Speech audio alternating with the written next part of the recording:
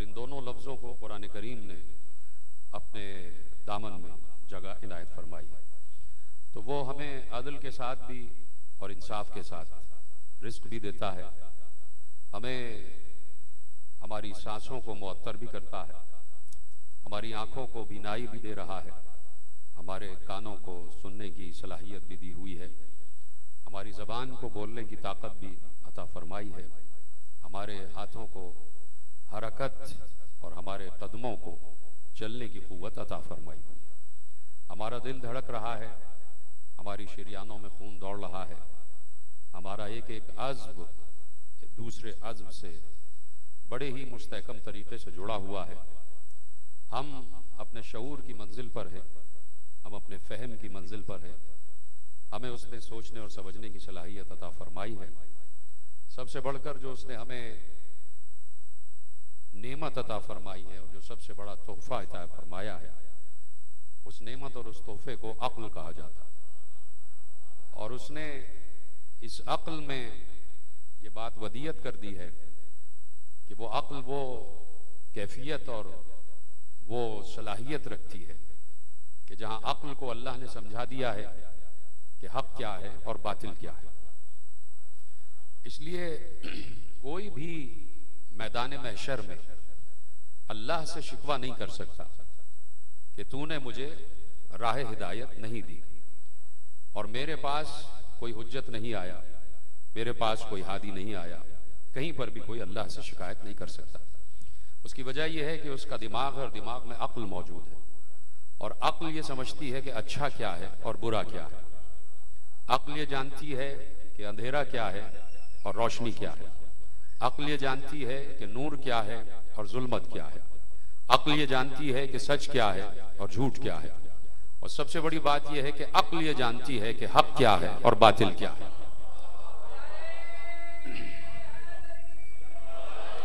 ये अल्लाह ने अक्ल को सलाहियत अता फरमाई है। तो अब कोई भी अल्लाह से ये नहीं कह सकता कि परवरदिगार, मेरे पास हिदायत नहीं पहुँची, मेरे पास हादी नहीं पहुँचा, मेरे पास हुज्जत नहीं पहुँची। यानी कोई भी जी शूर इस दुनिया में जो रह रहा है, चाहे वो इस्लाम वाला हो या ना हो, चाहे वो कलमा गो हो या कलमा गो ना हो, चाहे वो अल्लाह को वाहिद अहद मानता हो या अल्लाह को वाहिद अहद न मानता हो, चाहे वो मुलहिद हो, चाहे वो मुवाहिद हो, चाहे वो मुशरक हो, चाहे वो मुस्लिम, ये नहीं होता कि कोई जो मुशरक है या मुलहिद है ऐसा नहीं है कि वो ये पहचान न रखता हो कि मैं अगर गढ़े में गिर जाऊँगा तो जख्मी हो जाऊँगा। उसे मालूम है कि सामने गढ़ा है, सामने गड्ढा है। मैं आगे बढ़ूँगा तो इसमें गिरूँगा और मुझे चोट आ जाएगी। तो ये जो उसे बताया है कि देखो अंधेरे की तरफ़ ना जाना, देखो गड्ढे की तरफ़ ना जाना, देखो कांटों भरी वादी में न जाना, ये किसने बताया? ये कोई हादी नहीं आया उनके पास। ये अकल बताती है। कि अगर पुरखार वादी में जाओगे तो जख्म आ जाएँगे पाऊ अगर गड्ढे की तरफ़ जाओगे तो गिर जाओगे और जख्मी हो जाओगे, मजरू हो जाओगे। अगर अंधेरे की तरफ़ जाओगे तो फिर नुकसान है। ये किसने बताया? ये यकीनन अक्ल ने बताया। ये उस शऊर ने बताया। तो जहाँ अक्ल ये बताती है कि सच क्या है, झूठ क्या है, जहाँ अक्ल ये बताती है कि अंधेरा क्या है और सवेरा क्या है जहाँ अक्ल ये बताती है कि नूर क्या है और जुल्मत क्या है तो वहीं ये हो नहीं सकता कि कहीं अक्ल ये रहनुमाई न करे कि हक क्या है और बातिल क्या है। देखिए, अब यहीं से बात आगे बढ़ती है और मैं इस बात की परवाह नहीं करता कि मजमा कम है या ज़्यादा। मेरी बात सिर्फ़ यह है कि बात पहुँच जाए। देखिए, यहीं से बात शुरू होती है कि हक क्या है और बातिल क्या है। ये जो आज दुनिया के मसाइल हैं वो सारा का सारा इसी पर, इसी की बुनियाद ये है कि कोई समझ रहा है कि हक क्या है और कोई समझ रहा है कि बातिल क्या है। मसलन मुसलमान अपने को हक पर समझता। मुसलमान अपने को हक पर समझता। ईसाई अपने को हक पर समझता। यहूदी अपने को हक पर समझता। और जो बुत परस्त है, वो भी अपने को हक पर समझता। है यानी जो बुत परस्ती के मुकाबले पे आ जाए तो बुत परस्त उस मुकाबले पे आने वाले को बातिल समझता। है जो ईसाइत यानी नसरानियत के मुकाबले पे आ जाए तो यहूदो नसारा मुकाबले पे आने वाले को बातिल समझते यानी हर इंसान अपने को हक समझ रहा है, अपने को हक पर समझ रहा है। तो कैसे तय हो कि असले हक क्या है और असले बातिल क्या है? बात तो यह है ना कि इस वक्त कैसे तय हो कि असले हक क्या है और असले बातिल क्या है? और इसी की तरफ़ यकीनन अल्लाह ने मुसलसल अंबिया भेजे हैं। कि हर कोई ये बताए कि असले हक क्या है और असले बातिल क्या है।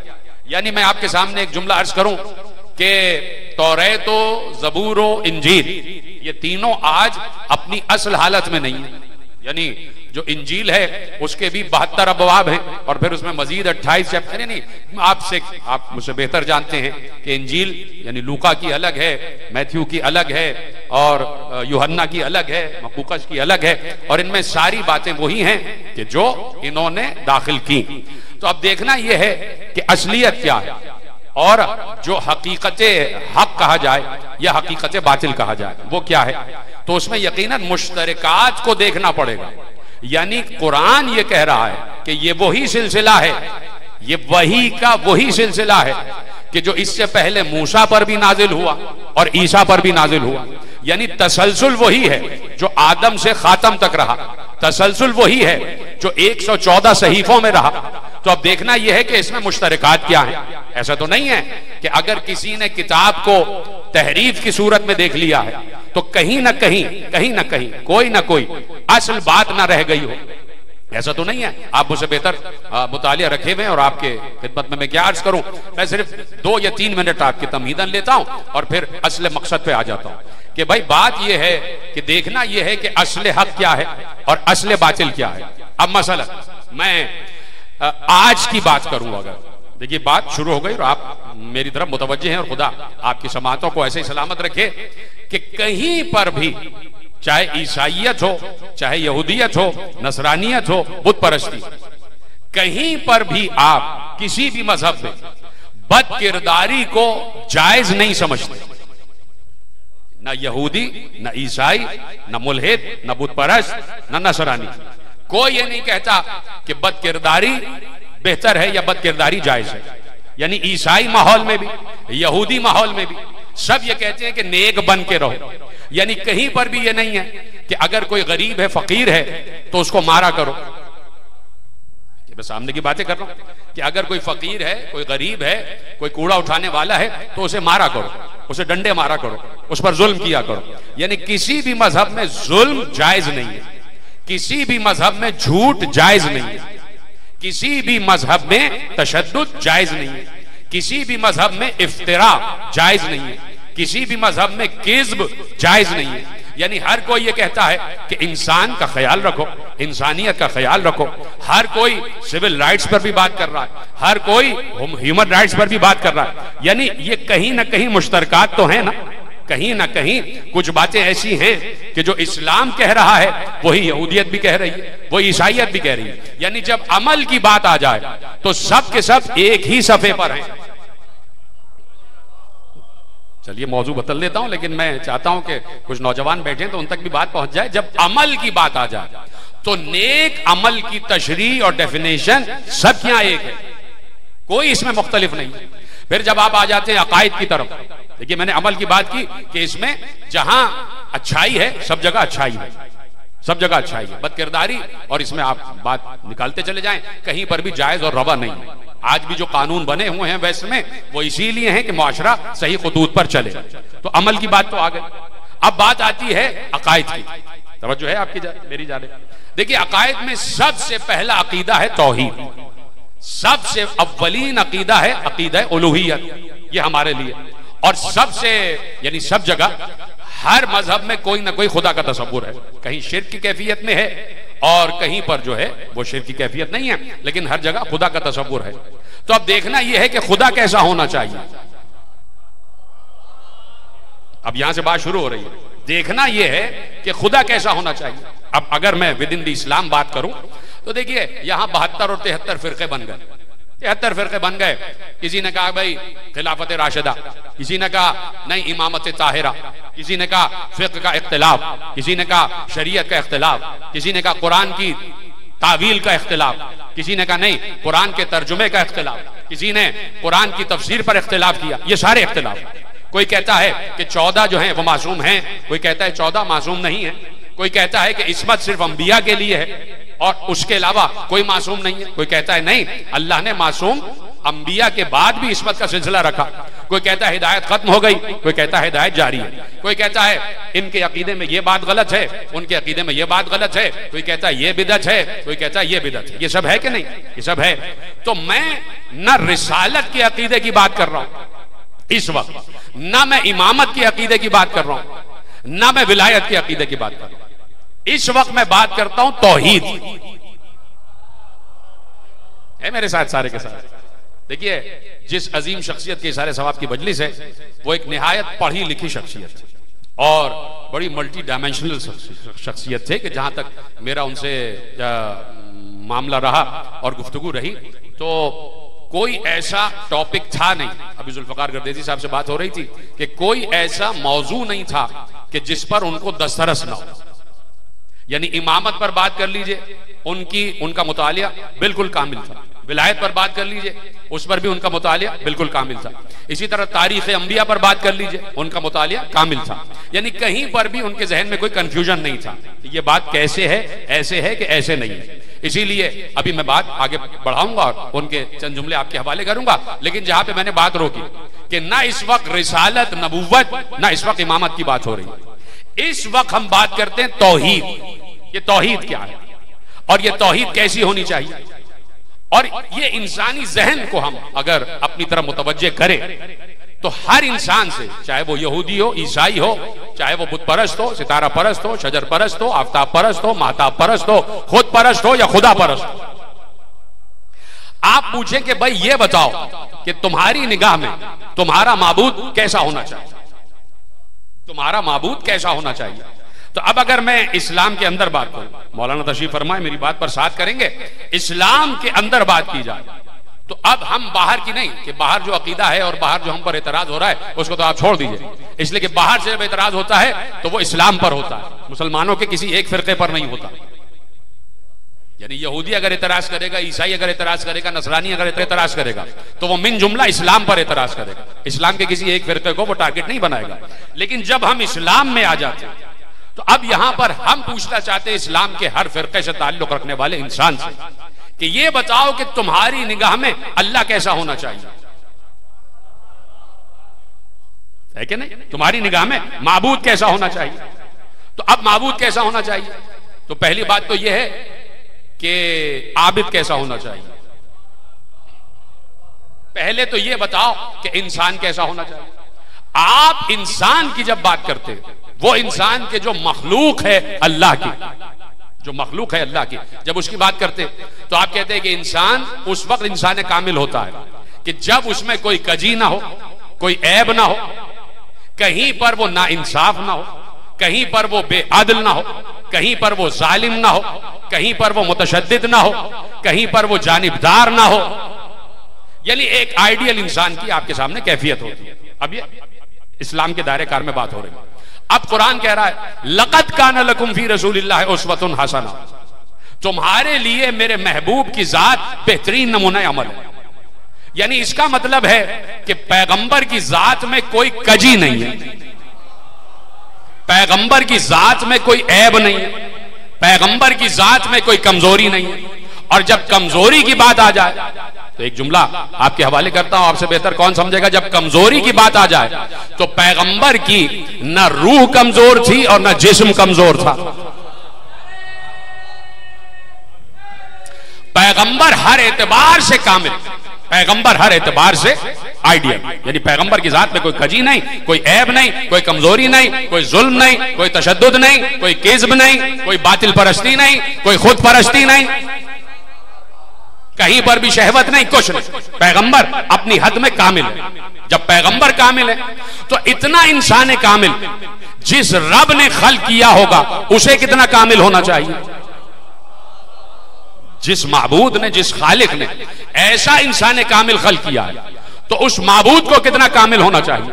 तो अब तोहीद। अभी तो हम बात ही नहीं कर रहे कि ये अजादारी क्या है ये जायज़ है कि नहीं है ये मातम जायज़ है कि नहीं है ये ताजिया जायज़ है कि नहीं है ये ताबूत जायज़ है कि नहीं है ये जंजीर जायज़ है कि नहीं है ये कमा जायज़ है कि नहीं है ये मज़ारों पर जाना जायज़ है कि नहीं है ये किसी गैरुल्लाह से मांगना जायज़ है कि नहीं है ये किसी को मदद के लिए पुकारना जायज़ है कि नहीं है ये नुसरत के लिए किसी को पुकारना जायज़ है कि नहीं है ये मजलिस अजा का फ़र्ज़ बिछाना जायज़ है कि नहीं है ये कुछ बात नहीं कर रहे अभी हम कह रहे हैं कि आलम इस्लाम पहले अपना अकीद तोहीद बयान करें।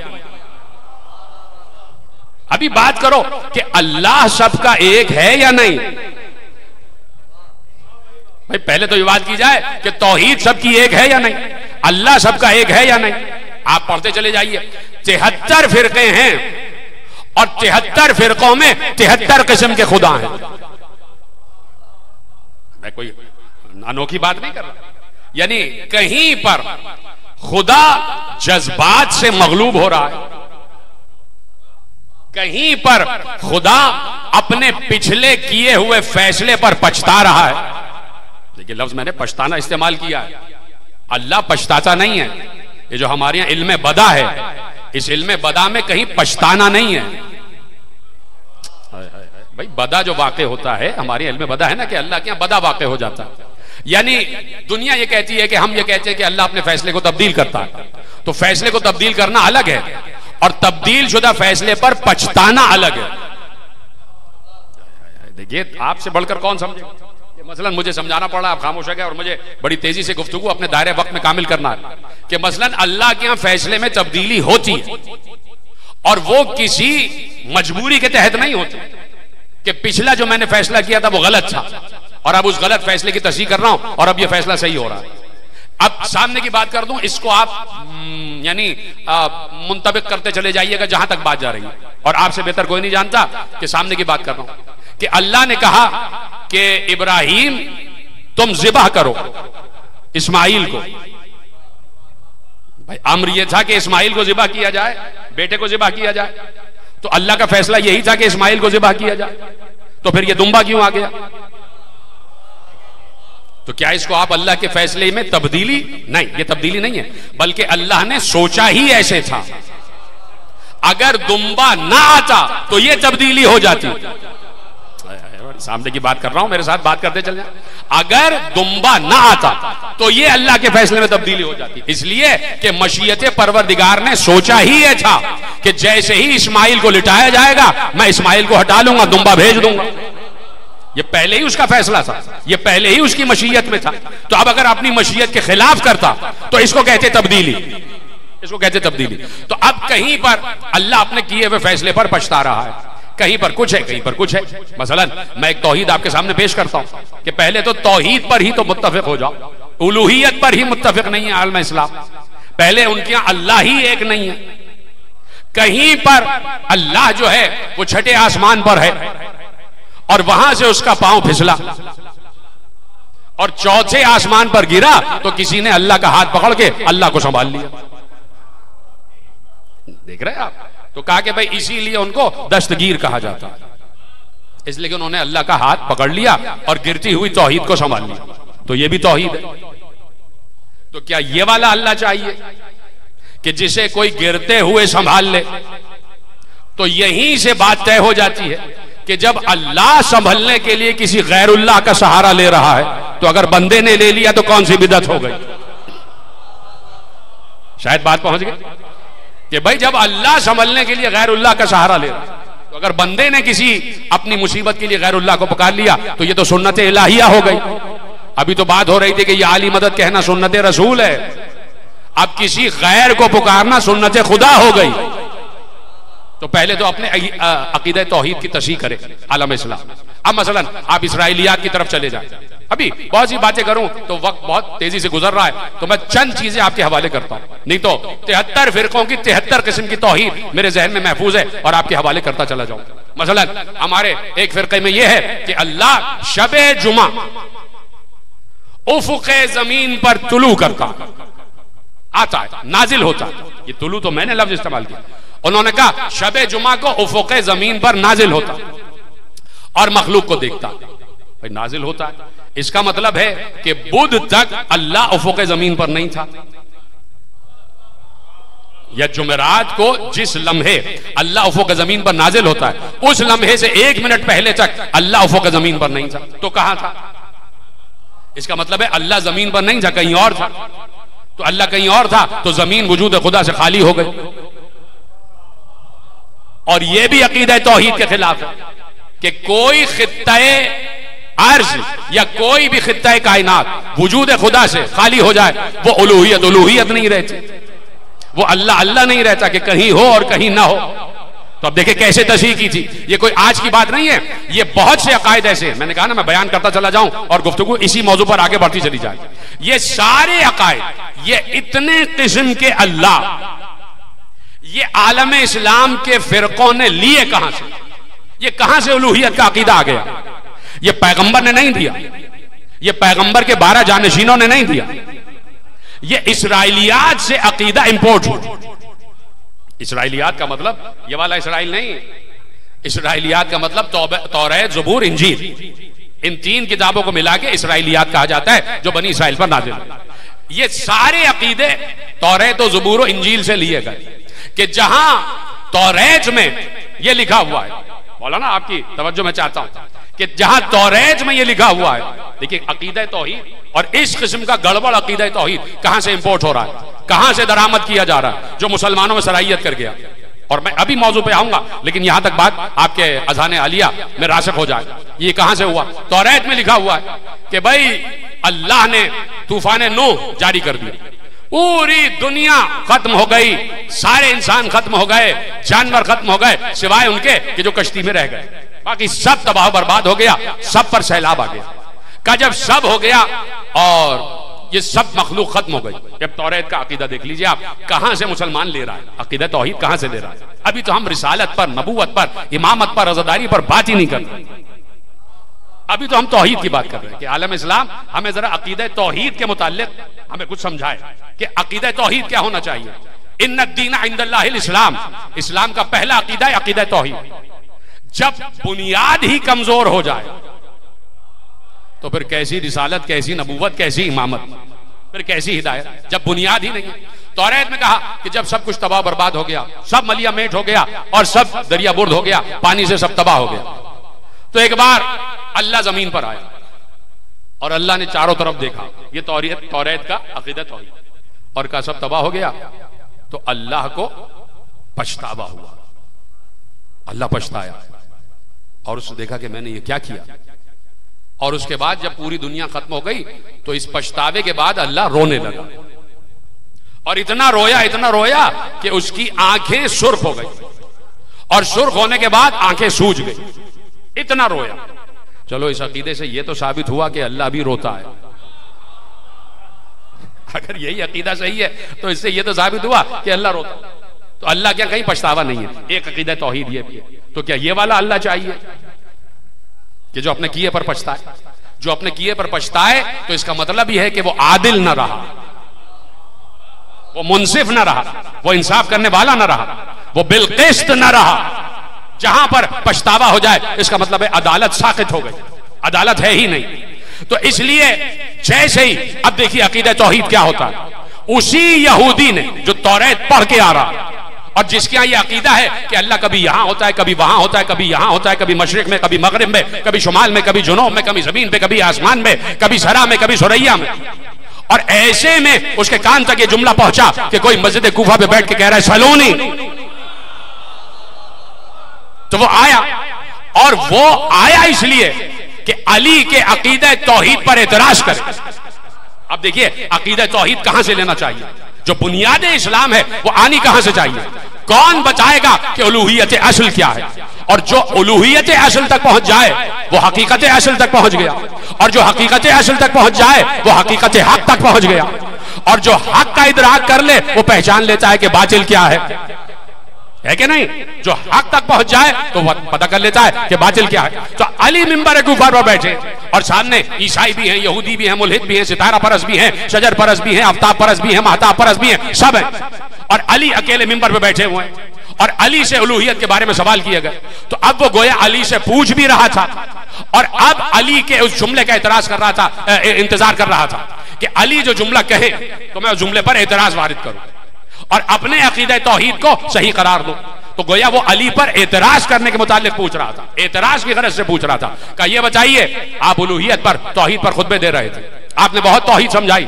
मैं सिर्फ़ आपसे ये पूछना चाहता हूँ, क्योंकि तौरेत में अकीदा लिखा हुआ है। तो उसने कहा, मैं आपसे ये पूछना चाहता हूँ कि आपका अल्लाह किधर है? अब देखिए, यहीं से लफ्ज क्या आया? आपका अल्लाह। ये जो होता है ना कि तुम्हारा अल्लाह हमारा अल्लाह। ये अकीदा इंपोर्ट हुआ है यहूदियत से। पता नहीं बात पहुँची कि नहीं पहुँची। एक बार कोई बैठा हुआ था मसनद बादशाहत पर। और उसको मक्खी सताने लगी। कभी इधर आ रही, कभी इधर आ रही, जितना मक्खी को भगाओ, वो और आती है, कभी इधर कभी इधर कभी इधर। और वो ऐसे ऐसे किया जा रहा है, बादशाह का दरबार सजा हुआ। बराबर में मेरा आठवां इमाम, अली इब्न मूसा रिजल मुर्तजा अलैहिस्सलाम तशी फरमान तो अब क्या कहता है? मुझे समझ में नहीं आई कि आपके अल्लाह ने यह मक्खी पैदा क्यों की है। देखिए उसने क्या कहा? आपके अल्लाह ने। यही से बात साबित हो गई कि इनका अल्लाह और है। देखिए ना, ये तारीख इस्लाम में वाकयात मशहूर है कि आपके अल्लाह ने क्यों पैदा किया? तो वहीं से बात आई कि आपका अल्लाह कहाँ रहता? किधर है? किस समत में है? तो अली चाहते तो फ़ौरन जवाब देते। अली ने साबित किया। साबित किया, अमल से साबित किया। का कंबल लकड़ियाँ लाओ। लकड़ियाँ ला गई, लकड़ियाँ सुलगाई गई, आग भड़क उठी, आग के शोले भड़के। अब उस यहूदी से पूछा, ये बता, आग के शोलों की लौ कहाँ है? कितना मशहूर वाक्य बचपन से सुन रहे कहा, इन आग के शोलों की लौ कहाँ पर है? कहा, ये तो हर जगह है, कोई इधर है, कोई उधर है, कोई उधर है, कोई उधर है, कोई आसमान की तरफ़ है। ये तो आग का शोला है। कहा, ये आग उस अल्लाह की मखलूक है। जब मखलूक की कोई समत नहीं है तो खालिक की समत कैसे हो जाएगी?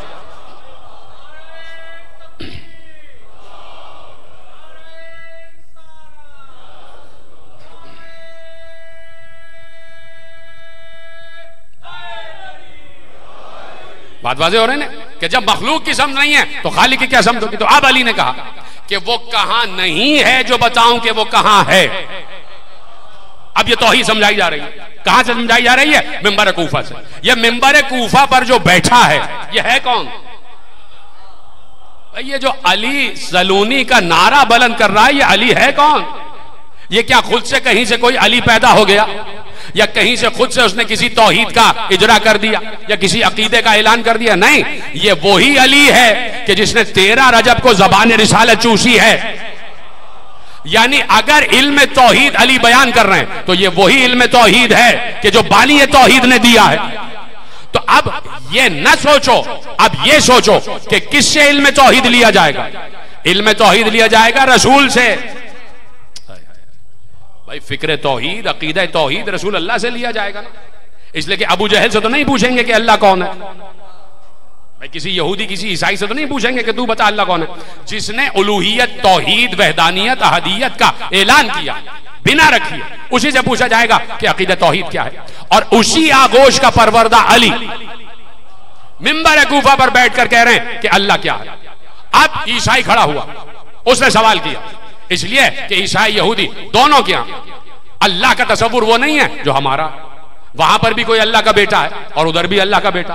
दोनों जगह। उधर उजैर अल्लाह का बेटा, इधर ईसा अल्लाह का बेटा। है कि नहीं? तो अब ईसाई खड़े होकर पूछता है कि ये बताइए कि आपके अल्लाह का शजरा क्या है? देखिए, आपके अल्लाह का शजरा क्या है? तो अगर कोई ईसाइयत से मुतासिर होने वाला बैठा होता देखिए, आप खामोश हो गए इस बात पर। देखिए, रोम से शाम की सरहद मिली हुई है या नहीं? मिली हुई है। मुझे माफ़ फरमाइएगा, बल्कि माफ़ क्या फरमाएँगे, इसमें माफ़ी की कोई बात ही नहीं है। आलम इस्लाम है। ये सोफे, ये कालीन, ये डाइनिंग टेबल, ये छुरी कांटे से खाना, ये सब रोम से इंपोर्ट हुआ शाम। लेकिन शाम वाला मुतासिर था ईसाइयत से। तो अगर ऐसा ही कोई मिंबर कूफा पर बैठा होता जो रोमियों से और ईसाइयत से मुतासर होता तो वो यकीनन फ़ौरन कोई ना कोई अकीद तोहीद बुन लेता और कहता हाँ मेरे अल्लाह का भी शजरा है। और किसी ना किसी को अल्लाह का बेटा भी बना देता। किसी ना किसी को अल्लाह की जोजा भी बना देता। कह देता, इसलिए कि भाई, हमें तुम्हारे अकीदे के मुकाबिल पे आना है और बराबर रखना। लेकिन ये अली बैठा हुआ ये वो बैठा है कि जिसने इल्म रसूल कश्म किया है, जबान रिसालत। का ये बताइए, आपके अल्लाह का शजरा क्या है? अली मुस्कुराए का सुनो, हमारे अल्लाह का शजरा सुनो। का सुनाइए का सुनो, कुल हो अल्लाह अहद, अल्लाह समद, लम यलिद वलम यूलद वलम यकुल्लहु कुफुवन अहद। का ये है अल्लाह का शजरा। ना वो किसी का बाप, ना उसका कोई बाप। तो ये ये तौहीद, ये अहदियत सिखाई गई है बताई गई है। तो अब यह है बिल्कुल ऐसा मामला कि कोई किसी को समझाए और कोई किसी को समझाए। बात नहीं पहुँची।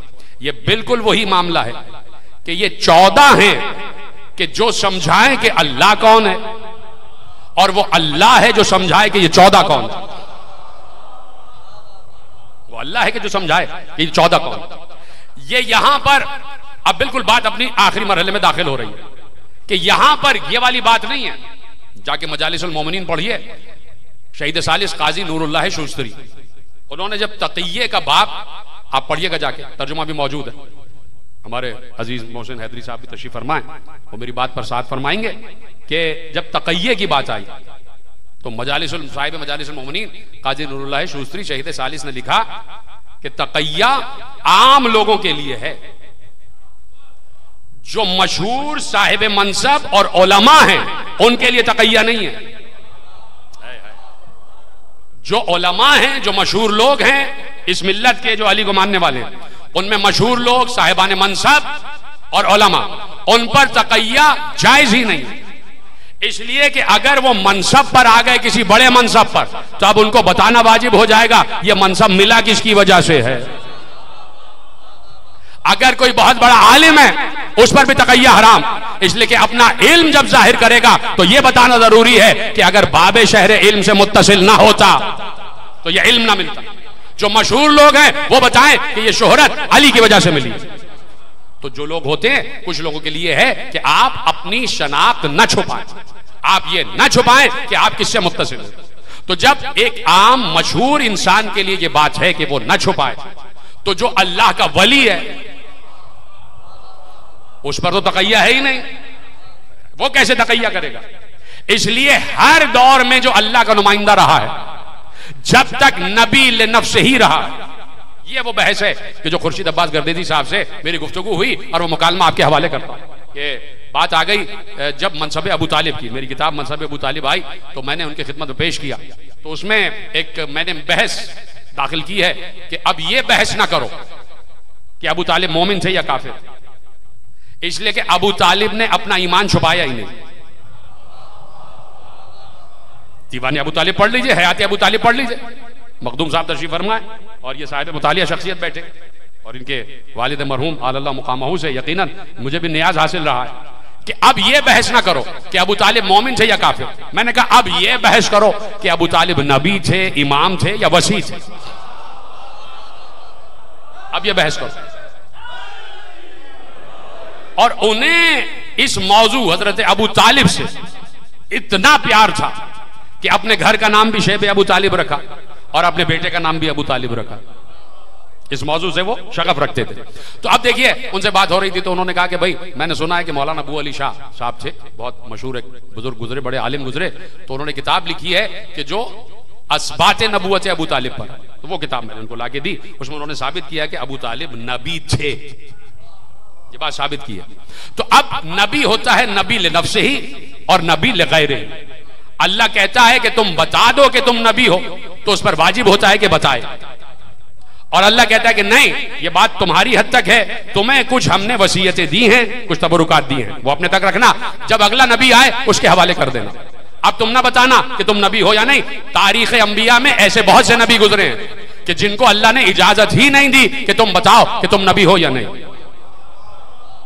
एक लाख चौबीस हज़ार हैं और उनमें कितने नबी हैं कि जिन्होंने ऐलानी ना किया, इसलिए कि अल्लाह की इजाज़त ना मिली। और जिसको अल्लाह ने इजाज़त दे दी तो अब उस पर यह बात वाजिब है कि वो बताए कि मैं कौन हूँ। वो बताए कि मैं कौन हूँ। और जब सामने की बात कर दूँ कि ईसा अगर सिर्फ़ ये कह के रह जाते कि मैं अल्लाह का नबी हूँ, ये कह के रह जाते कि मैं अल्लाह का नबी हूँ, मुझे अल्लाह ने किताब अता की है कि नहीं? तब भी ज़ाहिर था ना कि अल्लाह के नबी हैं। इसलिए कि गहवारे में बोल रहे हैं, आगोश मादर में बोल रहे हैं। इन्नी अब्दुल्ला अतानी अलकिताब वजालनी नबी कह दिया उन्होंने तो अब ये भी काफ़ी था कि ईसा ये कह देते कि मैं नबी हूँ और मैं साहिब किताब हूँ। लेकिन ईसा ने क्या कहा? अपने फजाइल भी बताए। अपने फजाइल ईसा ने बताए और वो सारे फजाइल कुरान में लिखे हुए अन्नी अखलको लकुम तीन का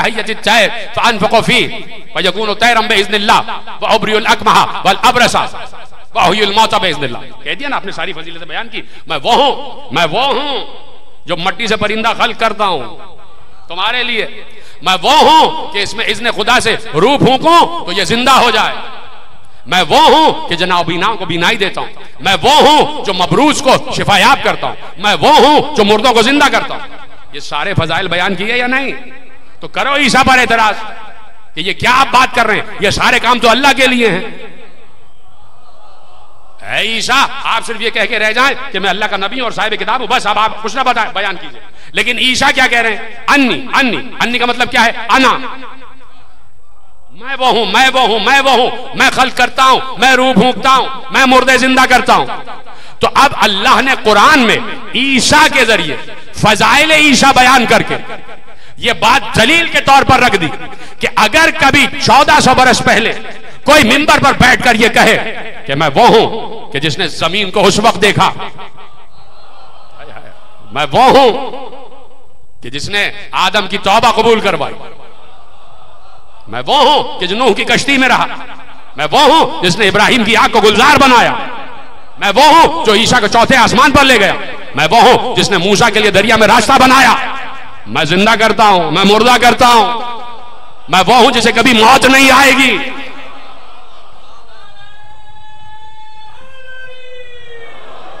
तो अब अली पर एतराज़ करने से पहले ईशा पर एतराज़ करना कि तुम क्यों कह रहे हो कि मैं वो हूँ, मैं वो हूँ? तो क्या मतलब है? मतलब यह है कि जो हुज्जत खुदा हो, मिन जानब खुदा, उस पर यह वाजिब होता है कि वो बताए कि मैं कौन हूँ और क्या हूँ। इसलिए कि हुज्जत तमाम हो जाए। फिर कोई अल्लाह पर शिकवा ना रखे कि हमें तो पता ही नहीं था कि ये अली जो मिंबर सलूनी पर बैठा है, ये क्या क्या कर सकता है। ये क्या क्या कर सकता? तो इसलिए अल्लाह ने चाह के बचाए कि ये चौदह कौन है? और इन चौदह ने यह बचाया कि वो कौन है? इसलिए कि अगर ये चौदह उसे सबसे बड़ा खालिक मुतलक और कादिर मुतलक ना बचाते तो कोई यकीन ना करता कि उस अल्लाह की मखलूक ज़िंदा भी कर सकती है, मुर्दा भी कर सकती है, चश्मे ददन में फासले भी तय कर सकती है। इसलिए बताया कि वो कादिर इतना बड़ा है। कि वो जिसे चाहे लाभ के हवाले करूँ। वो कादिर इतना बड़ा है कि जिसे चाहे, अपनी विलायत में शरीक कर ले।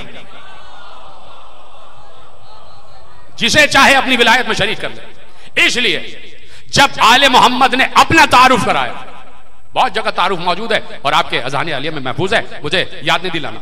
जब आले मोहम्मद ने अपना तारुफ कामिल कराया तो देखिए, ये बात बहुत ज़रूरी है।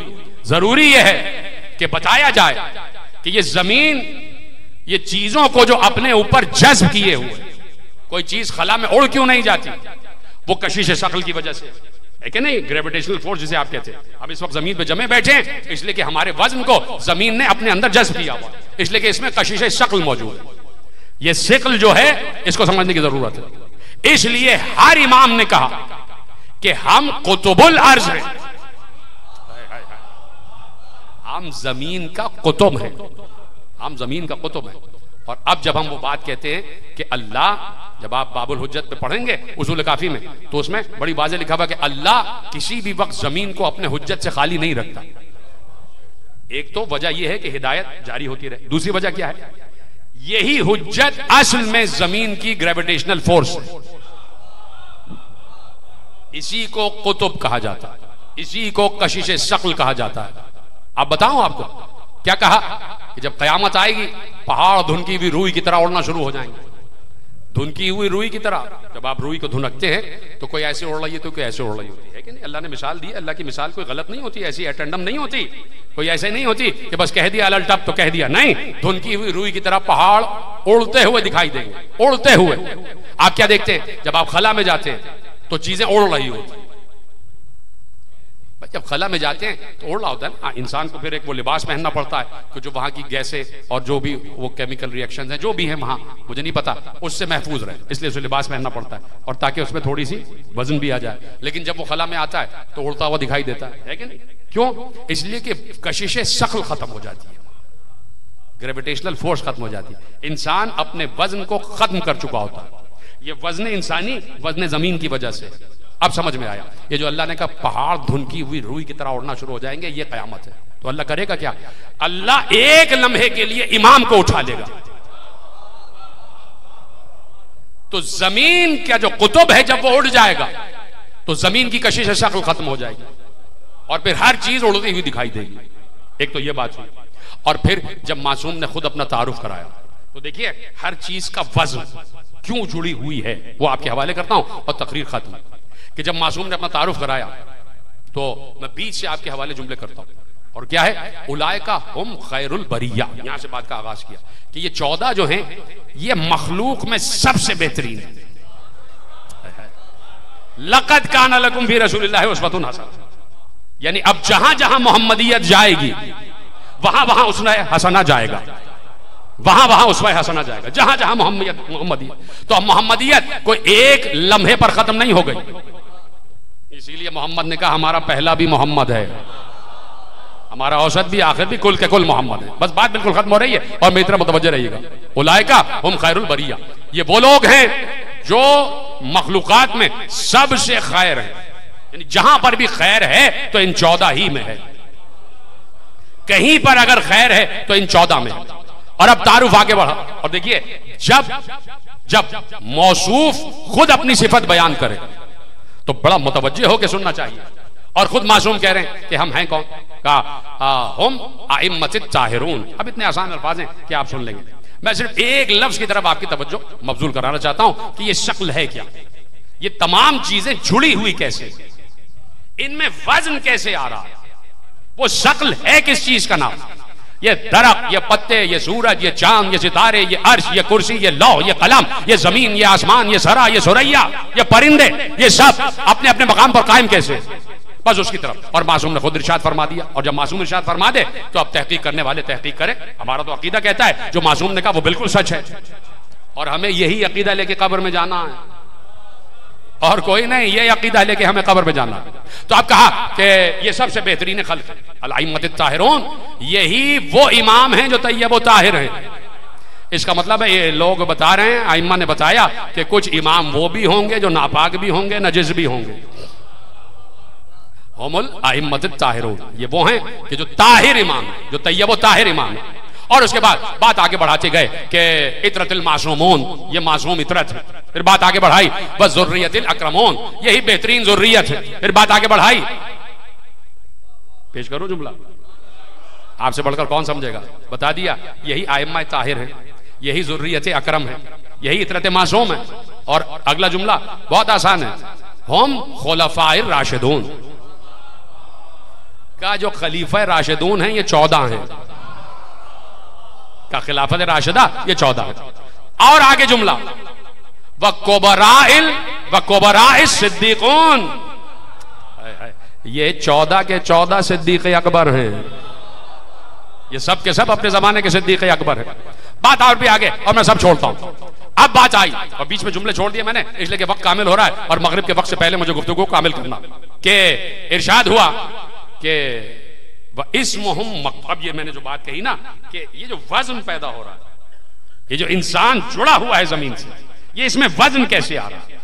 कहीं ना कहीं कोई न्यूक्लियस, कहीं ना कहीं कोई इलेक्ट्रॉन, कहीं ना कहीं कोई सेंटर ऑफ़ ग्रेविटी है। कोई ये साइंस पढ़ाने तो बैठा नहीं और ना मेरा ये मौजू है, लेकिन मैं आपको बता रहा हूँ, ताकि बच्चों तक ये बात पहुँच जाए, कि कहीं ना कहीं मैग्नेटिक फ़ील्ड है, और उस मैग्नेटिक फ़ील्ड के दरमियान कोई ना कोई न्यूक्लियस है। जिस न्यूक्लियस ने हर चीज़ को अपने मदार से जोड़ा हुआ जिसमें वज़न पैदा हो रहा है। और वज़न क्या है? वह इस मकतूबन अलल अहजार। अला औराकिल अशजार। इतने आसान जुमले हैं। कहा कि इन चौदह के नाम हर पत्थर पर लिखे हुए हैं। वह अला औराक अला और अशजार, इन चौदह के नाम हर दरख्त के हर पत्ते पर लिखे हुए हैं। वह अला अजन हचिल अजियार, और इन चौदह के नाम हर परिंदे के हर पर पे लिखे हुए हैं। वह अल अर्श वल अफलाक, इन्हीं के नाम अर्श पर भी लिखे हैं, सातों आसमानों पर भी लिखे हैं। वह अला अब वाबिल जन्नत वन्नार इन चौदह के नाम जन्नत के भी दरवाजे पे लिखे हैं। और जहन्नम के भी दरवाजे पे लिखे। अक्सर ये चुप हो गई। कि भाई जन्नत के दरवाजे पे समझ में आ रहा है। जहन्नम के दरवाजे पे क्यों लिखा हुआ है? वो तो किसी और का नाम लिखा होना चाहिए, है कि नहीं? तो उसका भी जवाब है। जन्नत के दरवाजे पे भी, जहन्नम के दरवाजे पे भी। जन्नत के दरवाजे पे इसलिए लिखा है कि इनकी वजह से जन्नत मिल रही है। और जहन्नम के दरवाजे पे इसलिए लिखा है कि इनकी दुश्मनी में जहन्नम में जा रहे हो।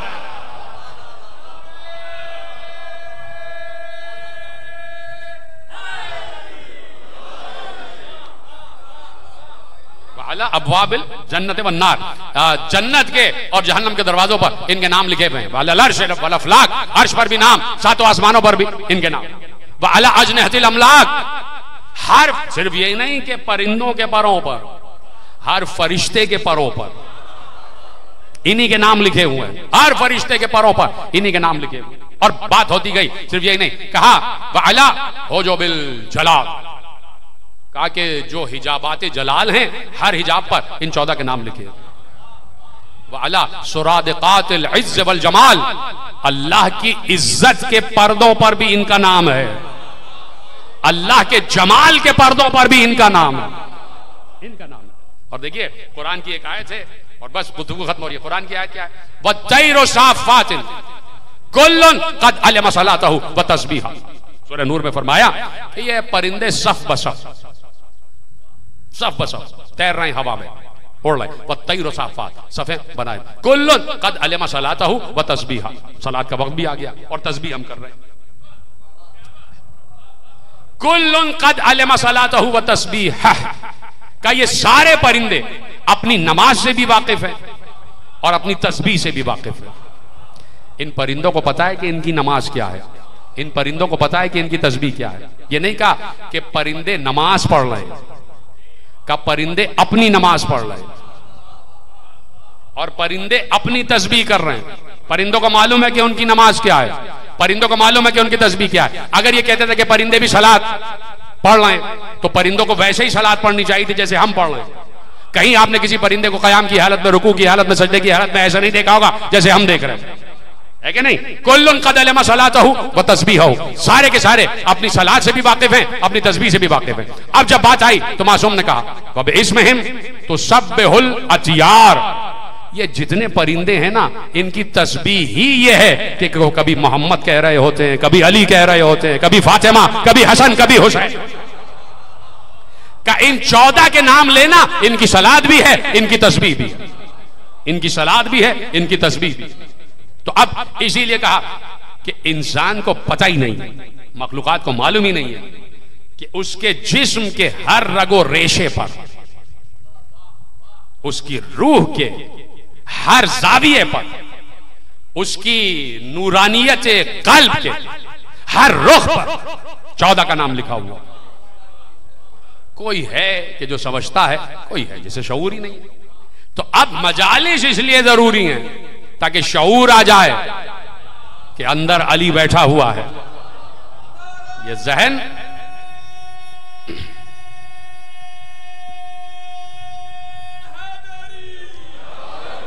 ये जहन, ये तफहम, ये तफक्र ये तशाउर, ये सब कुछ आल मोहम्मद की वजह से। ये सब कुछ। बहुत सी बैठकें ऐसी हुई आशम गर्देजी साहब भी थे खुर्शीद अब्बास साहब भी और हम सब बैठे हुए हैं और गुफ्तु इन्हीं मौजूद पर है। इन्हीं मौजूद और जैसे जैसे यकीनन उनकी उम्र आगे बढ़ती गई, मैंने देखा कि उनकी मारिफत उजागर नहीं हुई, बल्कि वो मारिफत का ऐलान करते गए। ऐलान किया उन्होंने कि कहाँ कहाँ मारिफत किस किस दर्जे पर पहुँची हुई है। आप देखें कि अभी भी मेरे पास किताबें मौजूद हैं। अभी जुल्फ़ार गर्देजी साहब ने हदिया की किताबें कि अब ये तो देखिए, पैगंबर ने भी कह दिया था कि अगर चाहते हो कि तुम्हारे बाद भी तुम ज़िंदा रहो मरने के बाद भी ज़िंदा रहो तो तीन काम करके जाना। तीन काम करके जाना। या तो कोई इंसान की फलाह बहबूद का कोई ऐसा काम कर जाओ कि जब तक वो फलाह बहबूद का काम जारी रहे, तुम्हारा नाम जारी रहे। कोई पानी, कोई कुआँ, कोई कुछ कोई कुछ, कोई यूनिवर्सिटी कोई मदरसा को कहीं दाखिल करा दिया का ये वो काम है कि जो तुम्हारे नाम को जारी रखे। का दूसरा काम ये है कि औलादे सालेह छोड़ कर जाओ। कि जब तक उसकी सालेहियत का तस्करा रहे, तुम्हारा नाम ज़िंदा रहे। जब तक औलाद का सही तस्करा ज़िंदा रहे, तुम्हारी खुशगुफ्तारी, तुम्हारी खुश किरदारी तुम्हारी हुसन सीरत ज़िंदा रहे। और तीसरा काम यह है कि कोई अल्लाह रसूल के लिए बेहतरीन किताब छोड़ कर देखिए, रसूल उस वक्त तक कोई बात कहते नहीं थे कि जब तक पहले उस पर खुद अमल ना कर ले। जब बात की कोई बेहतरीन फलाह बहबूद का निज़ाम छोड़कर जाना तो उस जगह इस्लाम छोड़कर गए। जब औलाद की बात की तो अली और फातिमा और हसन हुसैन जैसी औलाद छोड़कर गए। और जब किताब की बात की तो कुरान जैसी किताब छोड़कर गए। तो अब ये तीनों काम, आप खुर्शीद अब्बास गर्देजी की हयात में आप देखेंगे कि कहाँ कहाँ उन्होंने फलाह बहबूद के काम भी छोड़े हैं और बेहतरीन औलाद साले और फिर किताबों का एक सिलसिला है कि जो वो अपने बात छोड़ कर गए। इमाम का तकर्र यानी वो बात कि जिस पर इमामत पर दलीलें दी गई। कि किस तरह अंदर से इंसान का अंदर इनर सेल्फ कह रहा होता है कि इमाम की ज़रूरत है। आदि की ज़रूरत है, इमाम के तकर्र में। आप ये बात पढ़ेंगे। और इसी तरह बात खत्म हो रही है। एक किताब उन्होंने लिखी, और वो किताब है अर्ज़ करबला। अर्ज़ करबला, वो किताब है छोटी सी किताब। और उसमें बहत्तर शोहदाय करबला का तारुफ है। और हर शहीद की छोटी छोटी सी तीन तीन चार चार पाँच पाँच लाइन में शहादत का वाक्य भी है। बहत्तर शोहदाय करबला। अब मैं आपके हवाले एक वाक्य करता हूँ। और ये उनको इसाले सवाब हो जाए। एक बहुत बड़ा जाकिर ईरान में था, अखुन सैयद जाफ़र करके नाम था उनका। तो वो बहुत बड़े रोज़ा खान थे। जैसे हमारे यहाँ जाकरीन मसाइब पढ़ते तो वैसे ही वो मसाइब पढ़ते थे। रोज़ा खान खानी किया करते थे। तो वो ज़ाहिर सी बात है कि आले मोहम्मद किसी की भी खिदमत को ज़ाया नहीं करते। यानी आप इस वक्त फर्श पर बैठे तो ये आपका बैठना ज़ाया नहीं हो रहा। हर जी नफस उनकी निगाह में यहाँ से लेके वहाँ तक जहाँ भी लोग हैं, जो ज़िक्र कर रहा है, जो ज़िक्र सुन रहा है, सब उनकी निगाह में वो किसी के अजर को ज़ाया नहीं करते। और जब उनका चाहने वाला अपनी मारिफत के ज़रिए उनके कल्ब से करीब हो जाए तो फिर तो उसकी कदर कीमत आले मोहम्मद की निगाह में और बढ़ जाती है। ये मजालिस इसलिए बार बार होती है, ताकि हम कुर्ब मासूम की तरफ़ आते चले जाए, आते चले जाए, आते चले जाए। वैसे तो अल्लाह हर जगह मौजूद है। तो ये मस्जिद में क्यों जाते? अभी सोचा है आपने? अल्लाह तो हर जगह मौजूद मस्जिद में क्यों जाते? यानी कोई एक मौका, कोई एक जगह ऐसी हो कि जहाँ हम जाएँ तो हमें अंदाज़ा हो जाए कि हम उसके करीब आ गए। इसी तरह मजलिस आयम तहरीन का कोर बता करती। इसलिए कि वक्त का इमाम मजलिस में आता। आता है कि नहीं? तो किसी की भी मेहनत को जाया नहीं करते। तो वो आखुन, जो रोजा खान थे, वो कहते हैं कि बहुत बीमार हो गए। और एक बार वो नीम गशी के आलम में थे। तो वो खुद कहते और उन्होंने कहा कि ये वाकया जिस जिसको सुनाया दो तीन लोगों को सुनाया और कहा कि ये वाकया, जब मैं मर जाऊँ, उसके बाद सुनाना। और ये पूरा वाकया जब उनका जनाजा उठा और बहुत लोग मौजूद थे एक हुसैनिया था ईरान में, तबरेज या शिराज की बात है। बहुत कसीर तादाद में मजमा था इसलिए बड़े मशहूर जाकिर थे तो वहाँ जब उनका जनाजा रखा हुआ था, लाखों की तादाद में लोग थे तो माइक पर उनके बेटे ने और एक आलिम ने यह वाक्य बयान किया कि आखुन ने मना किया था और कहा था, मेरे जनाजे पर बयान करना। तो ये वाक्य उनके जनाजे पर बयान है। कहा कि वो कहते हैं कि नीम गशी के आलम में था कि मैंने देखा कि मैं मर गया, मेरी रूह परवाश कर गई और मेरी रूह को आलम बाला की तरफ़ ले जा रहे थे। और ऐसे में मैं आलम बाला पर था, मैंने सत्ताईस घोड़ों को आता हुआ देखा। आसमान पर सत्ताईस घोड़े आ रहे थे। और उनमें सबसे आगे आगे एक नूरानी शख्सियत थी। और उन्होंने मुझसे आगे कहा कि चलो, तुम्हें अब अब्दुल्ला हुसैन बुला रहे तुम्हें अब अब्दुल्ला हुसैन बुला रहे तो आखुद ने कहा, क्या क्या मेरी मौत? कहा, तुम्हारी मौत का वक्त आ गया, अब अब्दुल्ला तुम्हें बुला रहे तो आखुद ने कहा कि, क्या तुम अब अब्दुल्ला हुसैन से मेरी तरफ़ से ये गुजारिश कर सकते हो कि मुझे अभी बहुत से काम है? मेरी तीन बेटियाँ, उनकी शादी करना है, उनको पालना है, पोसना है, मेरे बाद उनका कोई देखने वाला नहीं होगा, मेरा बेटा भी छोटा है क्या मुझे वक्त मिल सकता है मजीद? तो वो शख्सियत कहती है, तुम रुको, मैं पूछ के आता हूँ. गए, थोड़ी देर के बाद वापस आए, कहा, अब अब्दुल्ला हुसैन ने तुम्हारी गुजारिश को कबूल कर लिया और तुम्हारी ज़िंदगी में इजाफा कर दिया है। इस पर रोना तो बनता ही था मेरे अज़ीज़, जाना तो सबको ही है। हाय, कह देने में कोई हरज नहीं है। कहा, अब अब्दुल्ला हुसैन ने तुम्हारी ज़िंदगी में इजाफा कर दिया, इजाफा कर दिया। कहते, अब मैंने इनसे पूछा आप कौन है?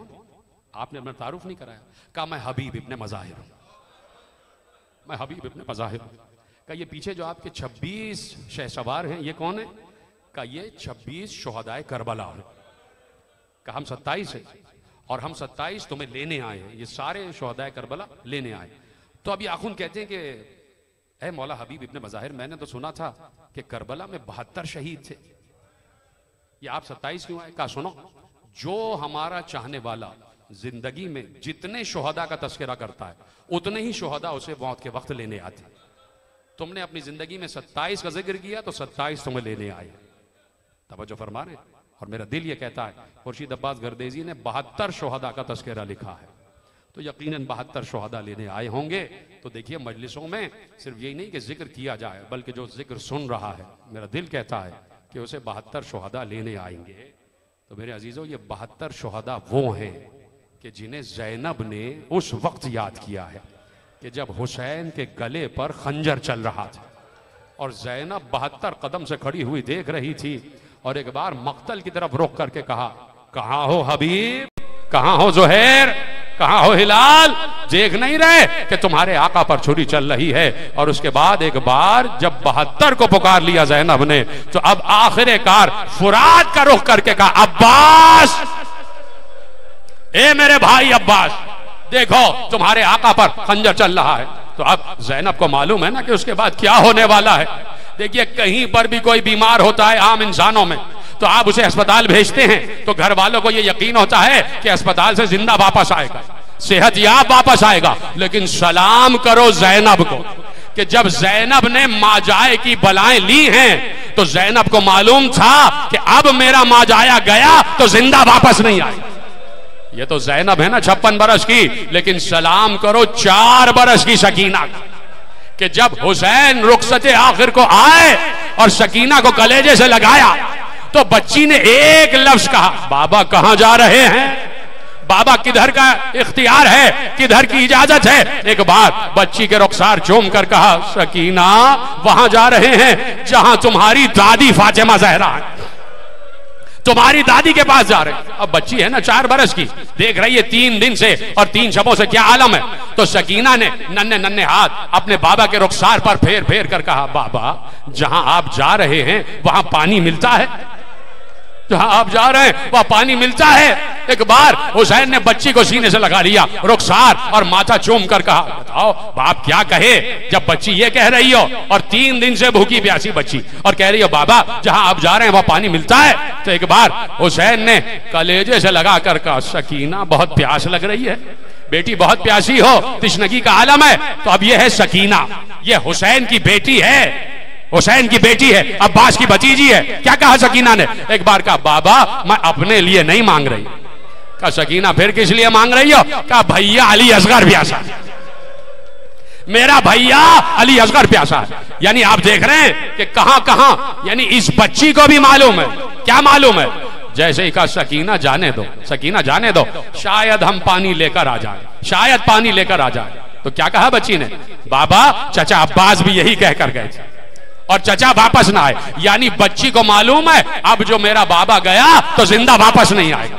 तो आप सलाम करो शकीना को, कि मालूम है जो बाबा जा रहा है, वो ज़िंदा वापस नहीं आएगा। तो शकीना बाबा का इंतज़ार करती रही, बस आखिरी जुमले तकरीर के आपने गिरिया का अदा किया, और ये जितना फजाइल मसाइब है, ये सब साले सबाब हो जाए। खुर्शीद अब्बास गर्देजी अल्लाह मकाम को आखिरी जुमला सुन लेना। बच्ची इंतज़ार करती रही, अब बाबा आएगा, अब बाबा आएगा। हाँ बच्ची का ये वतीरा था, तीन बरस बच्ची का ये वतीरा रहा, कि जब भी हुसैन मस्जिद से आते तो बच्ची पहले से मुसल्ला बिछा के खड़ी हो जाती। एक मुसल्ला अपने बाबा का, एक छोटा सा मुसल्ला अपना। अब जब असर का वक्त आ गया तो हसब दस्तूर सकीना ने बाबा का मुसल्ला बिछाया। बाबा के मुसल्ले के बराबर में अपना छोटा सा मुसल्ला बिछाया और बच्ची इंतज़ार करती रही। कभी खेमे के इस जाने, कभी उस जाने बार बार कहती थी, मेरा बाबा नहीं आया, मेरा बाबा नहीं आया। जब बहुत देर हो गई तो फूफी जैनब का हाथ चूम कर कहा, फूफी, मुझे इजाज़त दे दो, मैं जरा बाहर जाके बाबा को देखा बच्ची को इजाज़त मिली। खेमे का पर्दा हटा, सकीना बाहर आ गई। चारों तरफ़ अश्तिया का हजूम। बाबा नज़र नहीं आ रहा। एक बार किसी शक्ति के करीब जाके पूछती है शेख तुझे पता है मेरा बाबा कहाँ है? मुझे मेरे बाबा का पता बता दे। उसने पलट के सकीना से कहा, तुम्हारे बाबा का नाम क्या है? इसकी बेटी हो? बच्ची है। अपने मासूमाना अंदाज में कहती है, मैं सकीना हूँ। तुम्हारे बाबा का नाम क्या है? का मेरे बाबा का नाम हुसैन। अली का बेटा हुसैन। ये शकी एक बार कहकहा लगा के हंसा। और हंसने के बाद सबको मुखातिब कह, के, कहता है देखो ये कौन बच्ची आ गई? देखो ये कौन बच्ची आ गई? सबने कहा कौन बच्ची है? कहा हुसैन की बेटी सकीना। हुसैन की बेटी सकीना। ये रवायत भी मैंने इराक में सुनी है एक रोजा खान से आपके हवाले करता हूँ। एक बार उसने कहा बाबा तक जाना चाहती हो? कहा मुझे मेरे बाबा का पता बता दे। इस इश्तहा में मुझे मेरा बाबा नज़र नहीं आ रहा। उसने तीर को कमान से जोड़ा। और कहा ये तीर जिधर जिधर जाता जाए। बस तुम उसी के पीछे जाना, वही तुम्हारा बाबा होगा। छोटी सी बच्ची, एक बार तीर कमान से निकला। बच्ची तीर को देखती रही। एक बार तीर हुसैन की गर्दन में आके लगा। बच्ची करीब आई, बाबा से लिपट गई। एक बार शेमर ने कहा, हुसैन, तुम्हारा गला काटना है, बच्ची को अपने से जुदा करो। जब बच्ची जुदा न हुई तो शेमर ने जुदा किया। लेकिन पूछ लेना, कैसे जुदा हुआ? एक बार शेमर ने बच्ची की जुल्फों पे हाथ डाला। बच्ची मकना पहने हुए है, उसी मकने पे हाथ डाला। बच्ची को दूर फेंका, इधर से हुसैन ने आवाज़ दी, सैना मेरी बच्ची का ख्याल रखना। सकीना तुम्हारे हवाले।